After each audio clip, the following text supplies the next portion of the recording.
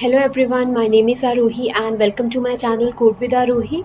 So in my today's class, I'll show you how to implement DC GAN networks. So DC simply means deep convolutional GAN networks. Okay. So for this particular um, DC GAN network, what I'm using is I'm using this dataset, Celeb Faces attribute dataset and this dataset is available on Kaggle. So you can get it from there and in description section, I will will I have mentioned the link of my github repository and from there you can also take this link okay? So which dataset we are using? This particular dataset celeb faces dataset okay? Now now what we want is we want to implement uh, a DC GAN network. So in every kind of GAN network there are two basic components one is generator this generator and the other one is discriminator okay? So see there are different kind of GAN networks right? Style GAN cycle GAN and DC GAN. Uh, lots of GAN networks are there. But in every GAN network you will get generator and discriminator. These are the two basic components of a, any GAN network okay? So generator and discriminator. Generator is responsible to generate fake samples. So this is the fake sample generated by after you know 50 or 60 epochs this is the fake sample which um, our generator generates produce this sample and this is one of the sample from our real data set right? Which data set this data set celeb faces data set this is one of the image which is present in this particular data set and this image this image is produced by generator and both real data sample and the fake data sample which is generated by a generator both samples will go to discriminator and discriminator is basically a classifier binary classifier which will tell whether the sample is a fake sample or a real sample. This is how it works. But initially when we start the training initially generator will you know uh, take some random sample. So initially what will happen? When we give random sample so uh, obviously uh, generator will produce some random output only and this discriminator can easily find out that this is a fake sample because that will be a random noise only.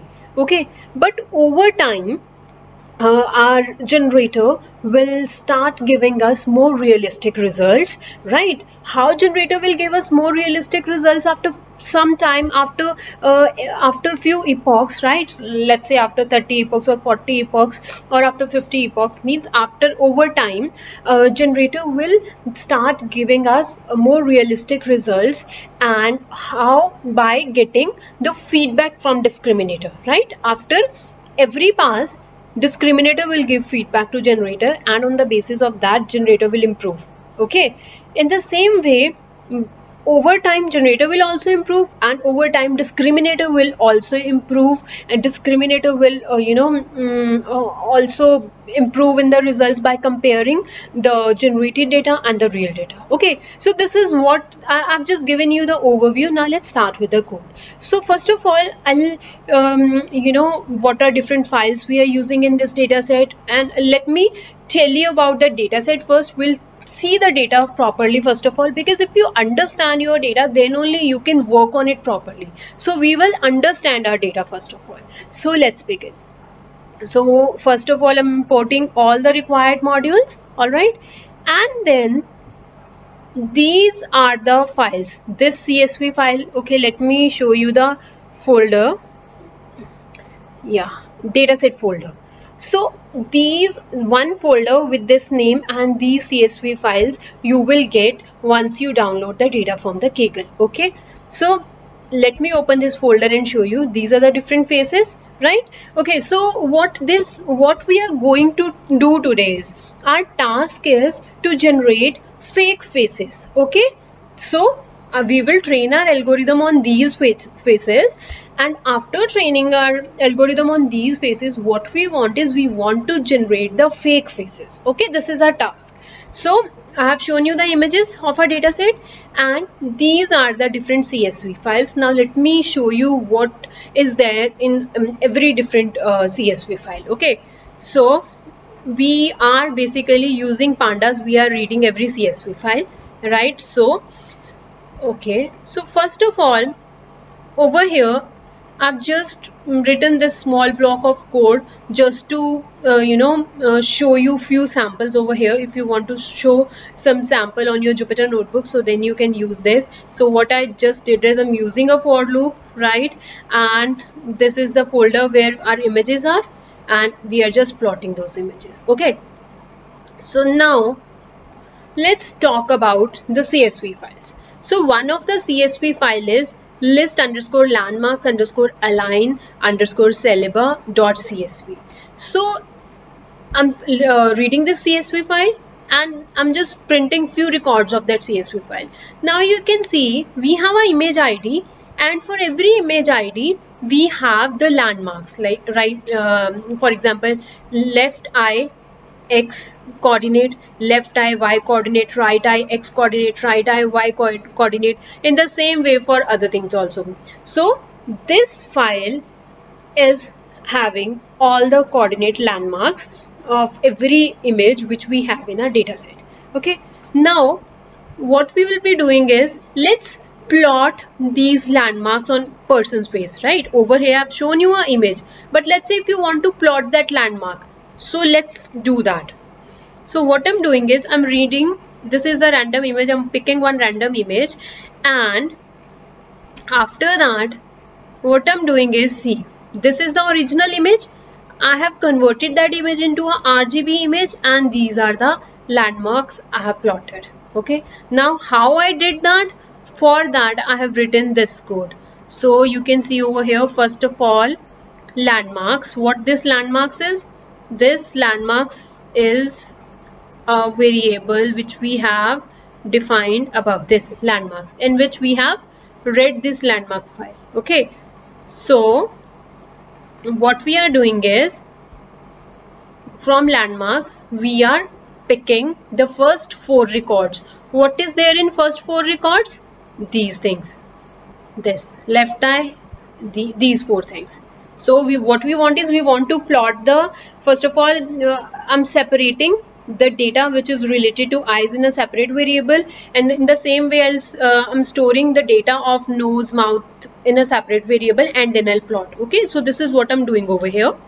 So you can see first of all i'm picking the data and then these are the variables and from this landmark variable where we have our file from that file we are reading it. So now you can see left eye right eye nose left mouth right mouth. So what i'm just doing is i'm just picking i'm just picking the column name and putting in these variables. After that using csv i have converted our images into a rgb image. Okay if you want to convert it then you can use like this. And after that I'm just using this um, matplotlib to plot the image. So I hope you are clear about the landmark file now. Landmark file simply means uh, for every person we'll have all the coordinates of the face okay? After that we have another file with the name of list underscore bbox underscore this is basically uh, will be a bounding box okay on a face so we are reading that file and you can see for every image we have x coordinate y coordinate width and height of bounding box. Now let's plot this bounding box on our face. So for that also what we are doing is you can see i'm working on same image only. This is the original image and these are the landmark which I have implemented in the above cell now we are putting the bounding box also. So over here this bounding box is not proper. You can try on other image you will get a bounding box. My main intent over here is to tell you to show you what kind of coordinates we are having in a different different files okay? So now we are clear about two CSV files. One is bbox bbox simply means we are having a bounding box coordinates for every image in that. And another file is landmark file .csv file which is having the face landmark uh, coordinates in it. Okay? So done with this. Now this file next file is list underscore eval underscore partition dot .csv this file if when you read this file see i'm reading this file and first of all i'm just plotting the five records. So you can see we have an image id and then we have another column which is just telling us zero right now. But let's uh, you know work more on this file and let's see what kind of different records we have in it what kind of different partitions we have in it. So what I'm doing is I'm performing value count on it. In the on this partition column I'm performing value count and what we get is this. We have 0 2 and 1 means we have three kind of different partition in it. And these are the records which belongs to 0 partition and these are the records belongs to 2 partition and these are the record belongs to 1 partition. Now what this partition is? So this partition simply means over here you can see train images equals to I'm storing all the data from this partition.csv file where the partition is equal to 0 in our train images. Simply means partition 0 uh, are the images which we will be using to train our algorithm. Partition 1.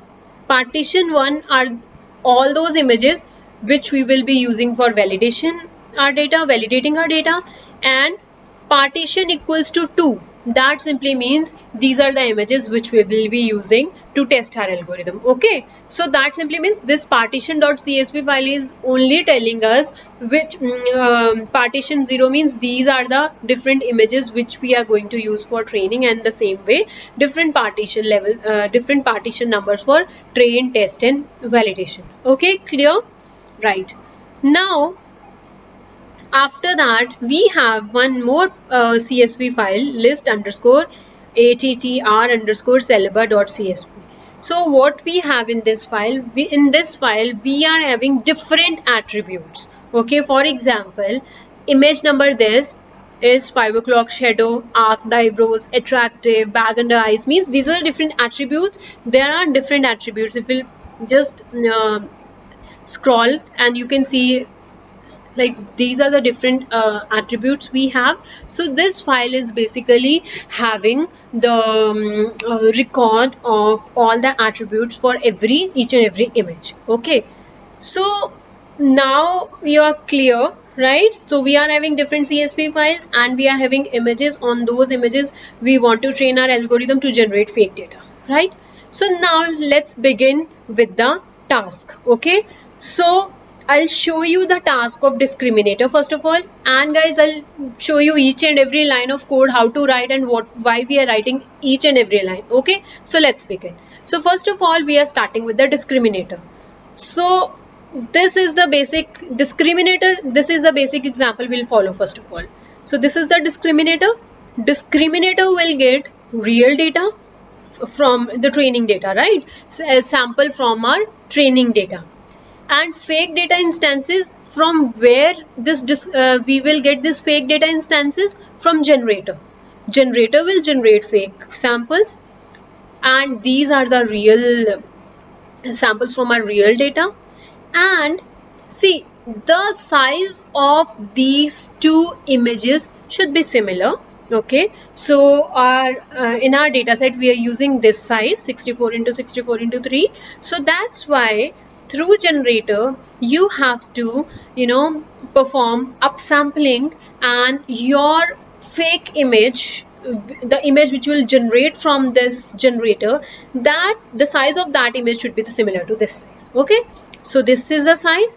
Now these two values these two images will go to the discriminator.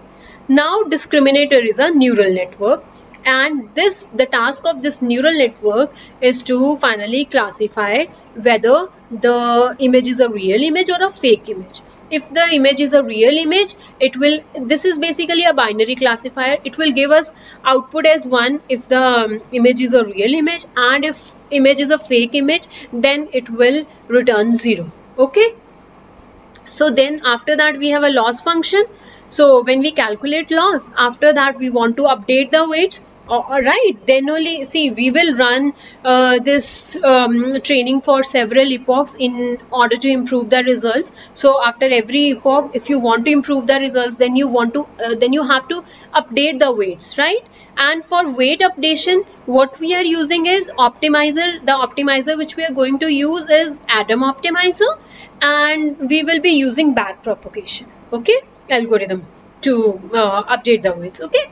So now let's discuss this in more detail right? So over here i've just told you like these two values will go to discriminator and discriminator will give us output. Now what is there in this discriminator? I'm, I'm telling you like this is a neural network.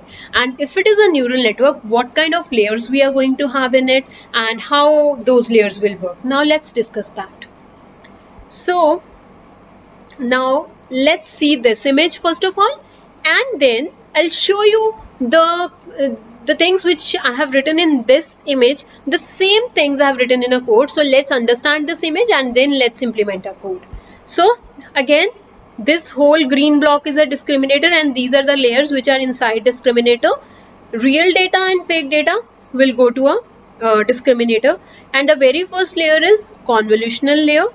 And uh, okay so now what will happen is Uh, see the image size of real sample is of 64 into 64 into 3 okay height and width is 64 and the number of channels are 3 because these, this is a colored image. In the same way the fake sample which we have created should be have same dimension. So that's why we have this.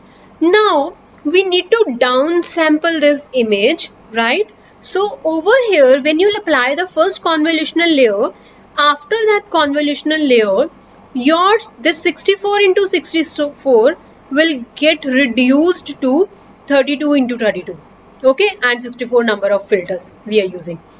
And after that we are and over here we are having convolutional layer and we are using batch normalization and ReLU. Those things are here. Okay? So after that this 32 into 32 into 64 will go to the next convolutional layer and over here also we are applying downsampling right? And after this you will get the image would be of this size.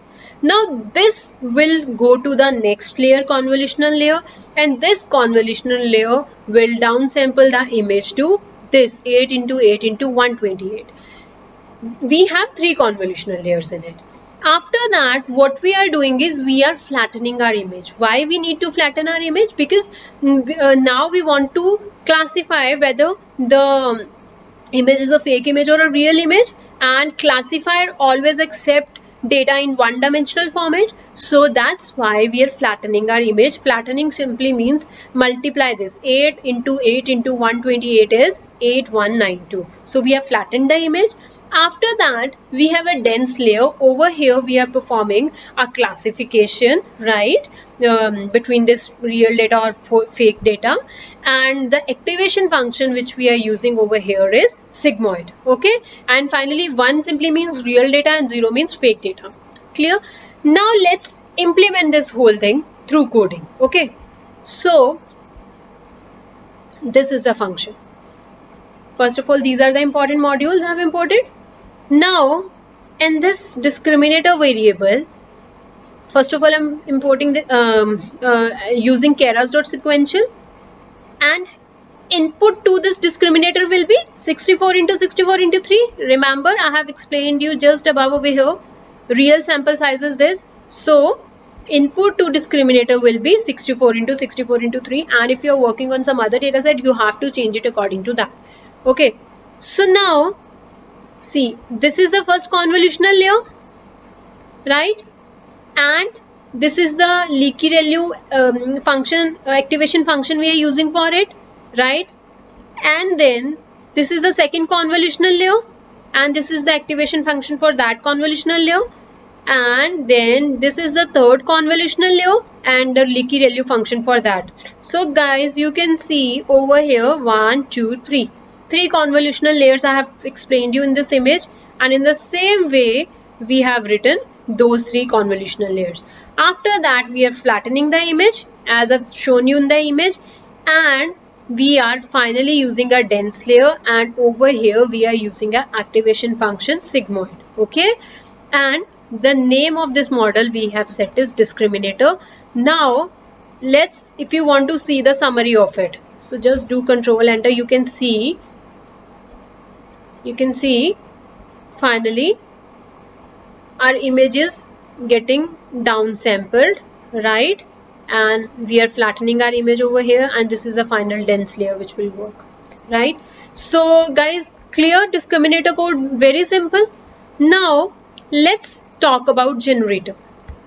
Now uh, generator the task of generator is to create fake sample right? So for our today's class generator will create fake images fake faces and those fake faces will go to discriminator and discriminator will tell whether this face is a fake face or a real face.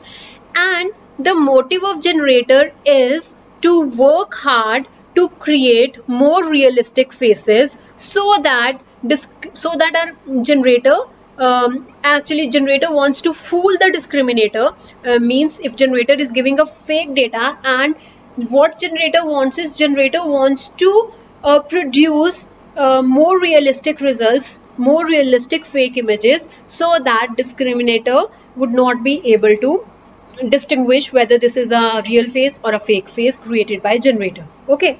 So let's uh, uh, understand this generator. Uh, first of all understand from this image and then we'll go to the code. So initially uh, generator will always start with a random noise. So this is a random noise and this is basically a vector size of 100 into 1 this is a one dimensional vector right? So this vector this is the uh, shape of this uh, 100 into 1 okay? This when we will be working on it this random noise we will reshape it first of all. So we are reshaping it. And from 100 into 1 to what we have uh, we have reshaped this random noise into this shape 8 into 8 into 128 okay? So the very first step, is reshape this random noise. So we have reshaped it. After reshaping we are using conv 2d transpose. Now why we are using this conv 2d transpose um, layers because what we want is we want to upsample our um, image after every layer. And see guys um, if, if if you have a question like why we are initially starting with a very small size of the image that is because we always start in GANs we start with a low quality image low resolution image right? And then slowly slowly we will um, improve it so that's what we are doing is we are initially starting with it uh, and we are reshaping our noise to 8 into 8 into 128 and 2d transpose will do upsampling. Upsampling means uh, it will give you a higher version of that um, higher uh, resolution um, higher resolution. It will perform uh, you know upsampling. So after uh, going through this conv 2d transpose layer this size will become this 16 into 16 into 128 after that this will go to the next conv 2d transpose layer and this layer will also perform upsampling and it will become 32 into 32 into 256 and now this value will go to the next conv 2d transpose layer. This will again do some upsampling and we will get this value and finally we have a convolutional layer and we will get this image size right? So basically output of what would be the output of generator? Fake sample and that sample should be of the same size mm, of 64 into 64 into 3 remember uh, it, this image size should be similar to the image sizes of our real images okay? So our task is to upsample it to this but we start with a low resolution image right? So this is how it works. Now let me show you through the coding. So this is the function we have written. So first of all what we are doing is input. What would be the input to this generator? This random noise.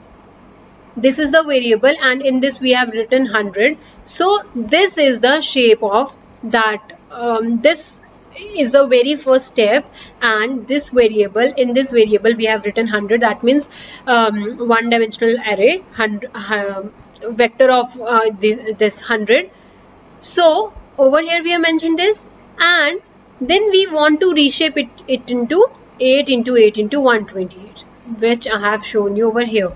So we are reshaping this 100 into 1 into 8 into 8 into 128 okay so that's what we have done over here after that we are using con trans 2D transpose for upsampling, right? So this is the upsampling and after that we are using a uh, leaky ReLU activation function. So this is the first convolutional layer and activation layer for upsampling. This is the second convolutional layer and the related leaky ReLU layer for upsampling and this is the third convolutional 2D uh, transpose layer for upsampling. And finally we have a con 2D layer which will give us the size which we need 64 into 64 into 3 means after over here after this over here what you will get is you will get a fake sample generated by a generator right you can see over here. So initially that is a one dimensional we have uh, image in a 1d vector. Then what we are doing is we are reshaping it like this so that we can we want to run convolutional network on it. So we need we need image should be in this shape right? Then only we can run. So that's why we are doing that. And now you can see after every layer. Now this is the first con 2d transpose layer. So our image height and width become 16 into 16 earlier it was 8 but now it is 16 and in next convolutional um, 2d transpose layer the size of image become 32 into 32 and after that 64 into 64 and this is the final size of the image which we need. So we have written function for generator right? This is generator and discriminator. Okay so now the next task is what we are using is we are just uh, um, we are just loading the data and over here we have this class GAN class. So now what we want is we want to override this train step. So where is this train step? Over here right? So let's see what we are doing. So this discriminator this generator and this latent dim generator is this generator in which we have written the whole model code. In the same way, discriminator variable is this variable, right? In which we have written our whole code of discriminator and latent dim is this, right? So, these are the values which we are providing over here, okay? And in the same way, optimizer d underscore optimizer means uh, the optimizer which we are going to use for um, updating the weights of discriminator. G underscore optimizer simply means the uh, this uh, optimizer for um, generator right? And d optimizer and g optimizer. Both these optimizer will be the adam optimizers we will use okay? Now let's scroll down and see this train step. So in this train steps what we are doing is see over here you can see. This is for batch size and this will pick the um, you know random noise. And generated images simply means the data the image the fake image which generator will generate. Okay? And how generator will generate we will give this random noise this random noise to generator right? So in generator variable we have our whole code right? Um, which will which will uh, you know create some uh, fake sample. So what we are doing is this variable is uh, is used for creating a random noise and that random noise we are providing to generator and we are storing it in generated images. And this combined images what we are doing over here is we are concatenating the generated uh, fake image and the real image. Generated image which we have just uh, generated over here and the real images from our data set and combined underscore images is a variable. In this variable now we have our fake image from generator and the real sample from our data set, data set okay? So after that you can see over here optimizers. We are applying optimizer. So what will go to discriminator? When discrim discriminant needs two uh, inputs right? The input from generator and the image from uh, the fake image from generator and the real image. So where we have stored it in in combined images variable so that's why we are giving this to discriminator. And after that over here we are applying uh, once you give uh, images to discriminator then we'll calculate the loss and then we'll update the weights. So this is what we are doing over here. Okay? And you can see over here okay so that's it guys. This is what we are doing over here is this uh, simple thing uh, for um, discriminator we are giving two different images and discriminator is calculating loss on that and then we are using gradient uh, optimizer to update the weights and in the same way for uh, generator right? Now after that over here over here so this code is simply for you know saving the generated images. So uh, let me show you the directory where I have uh, stored the results. So I have already executed this code. So I have all the images over here. So these are the images generated images which you will get. And this is the code which is responsible to display those images right?